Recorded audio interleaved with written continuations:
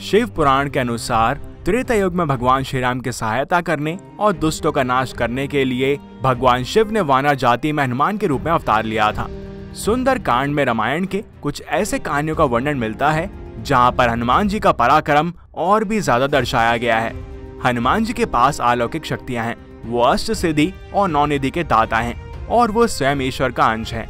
और ईश्वर के बाद यदि कोई शक्ति है तो वो है पवन पुत्र बजरंग बली श्री राम की सहायता करते हुए और भक्ति योग को बढ़ाते हुए हनुमान जी ने धर्म स्थापना एवं रक्षा हेतु बहुत से कार्य किए। उन्होंने बहुत से असुरों का विनाश किया। और आज हम रामायण से एक ऐसे किस्से को लेकर आए हैं जो बहुत कम लोग जानते हैं।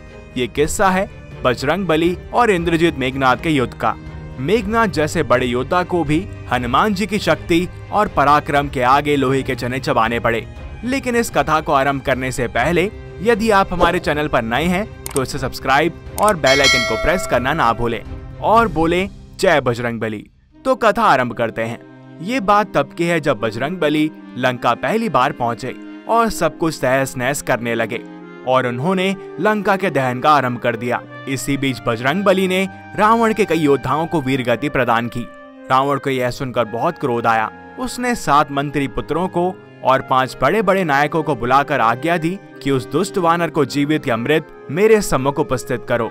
राक्षस राज की आज्ञा पाते ही सातों मंत्री पुत्र और पाँच नायक कई प्रकार के शस्त्र और अस्त्रों के साथ असंख्य राक्षसों की विशाल सेना को लेकर अशोक वाटिका की ओर चल पड़े।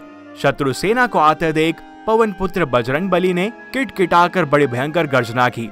इस घनघोर गर्जन को सुनते ही अनेकों सैनिक तो भय से मूर्छित हो गए और पृथ्वी पर गिर पड़े।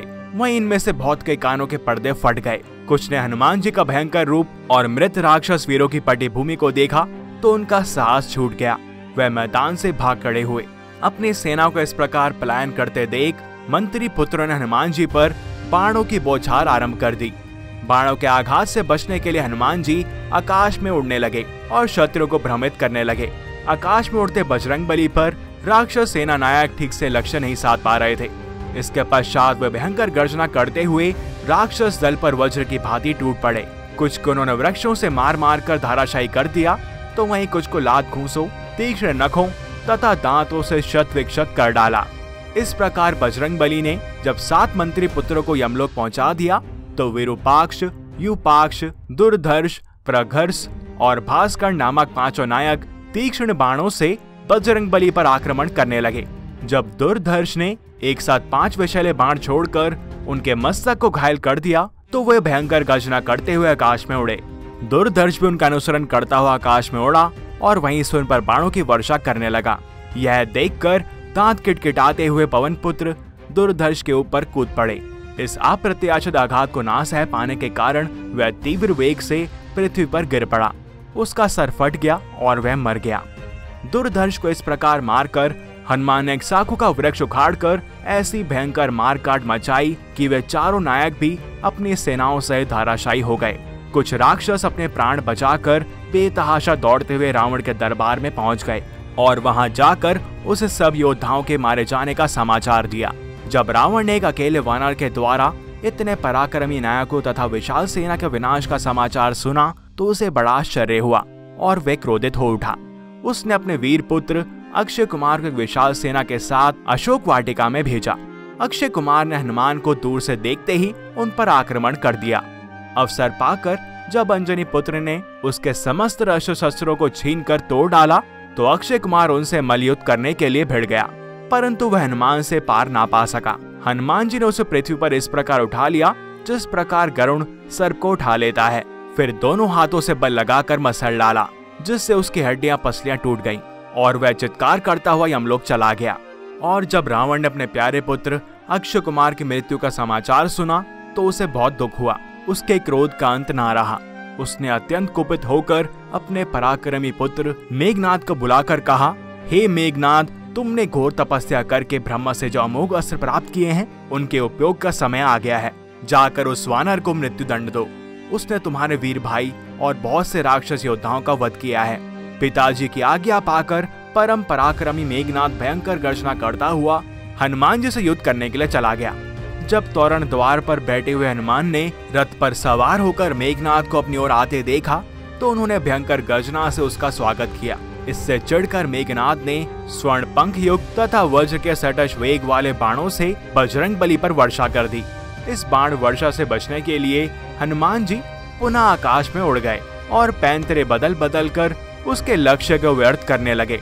जब मेघनाथ के सारे अमोघ अस्त्र शस्त्र भ्रष्ट होकर व्यर्थ जाने लगे तो वह भारी चिंता में पड़ गया। फिर कुछ सोचकर उसने हनुमान जी को बांधने वाला ब्रह्मास्त्र छोड़ दिया और इससे हनुमान जी को बाँध लिया। हनुमान जी के पास इतनी शक्तियाँ हैं कि उन्होंने चंद्रहास और पाशुपतास्त्र को भी निष्फल कर दिया था। और वे चाहते तो ब्रह्मास्त्र को भी निष्फल कर देते। साथ ही आपको ये भी बता दें कि हनुमान जी को ये वर भी प्राप्त था कि उन पर ब्रह्मास्त्र का कोई भी असर नहीं होगा। और ब्रह्मदेव का आदर रखते हुए उन्होंने ब्रह्मास्त्र को प्रणाम किया और ब्रह्मास्त्र के वार को अपनाया। मगर उन पे ब्रह्मास्त्र का गहरा असर नहीं हुआ और यह देखकर मेघनाथ भी हैरान रह गया और हनुमान के पराक्रम से बहुत प्रभावित हुआ। इसके उपरांत वो उन्हें लंकापति रावण के समक्ष लेकर गया, जहाँ पर हनुमान जी की पूंछ में आग लगाने की घटिया हरकत की गई, और बजरंग बली ने अपनी पूंछ को इतना विशाल कर लिया कि इससे उन्होंने पूरी लंका में आग लगा दी और सोने की लंका दहन कर दी। रावण की सेना इसके बाद हनुमान जी के नाम से ही भयभीत हो उठती थी। हनुमान जी चाहते तो मेघनाथ का वध कर देते, और यहाँ तक कि रावण का भी। परंतु धर्म की स्थापना और राम राज्य के लिए ये कर्म केवल श्री राम लक्ष्मण के हाथों ही होने थे। और बजरंग बली इस बात को समझते थे। जब भी श्री राम लक्ष्मण पर कोई संकट आया तो बजरंग बली ने उसे अपनी बुद्धि और पराक्रम से दूर किया। खुद भगवान श्री राम ने अगस्त मुनि को कहा था कि उन्होंने हनुमान के पराक्रम से ही रावण पर विजय प्राप्त की है। तो बोलो, जय श्री राम, जय बजरंग बली। इस कथा में इतना ही। अगर आपको वीडियो पसंद आई हो तो इसे लाइक और शेयर करना ना भूले। साथ ही हमारा सपोर्ट करें, हमारे चैनल को सब्सक्राइब और बेल आइकन को प्रेस करके। जिससे कि हम प्रभु की ऐसी कथाएँ ज़्यादा से ज़्यादा लोगों तक पहुँचा पाए। मिलते हैं आपसे अगली वीडियो में और भी अद्भुत कथाओं के साथ। तब तक के लिए हरिओम